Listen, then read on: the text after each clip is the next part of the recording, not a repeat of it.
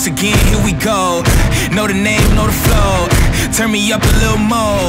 I'm setting traps, I'm alone. Get your ass up and pass every limits.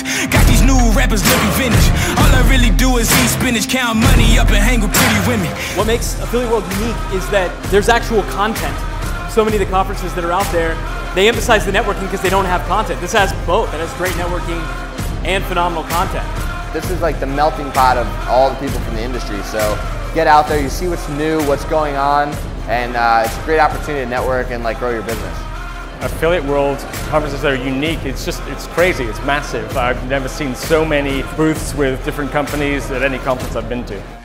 I would say it's just the general energy. It's just, it's very upbeat, it's very alive. Like people are always doing something. Everyone has been out until like 3 or 4 a.m. and then up again the next day for the conference. It's just, it's a lot of fun. I don't know how they have the energy.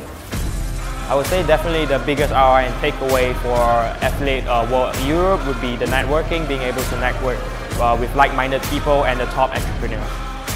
Barcelona is one of the greatest cities in the world. You kidding me? There's like a beach right over there.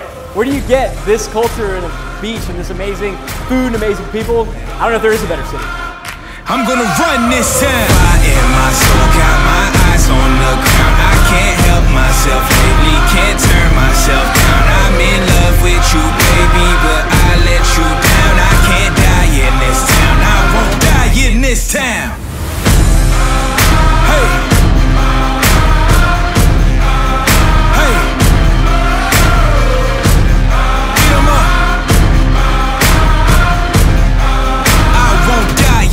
Town.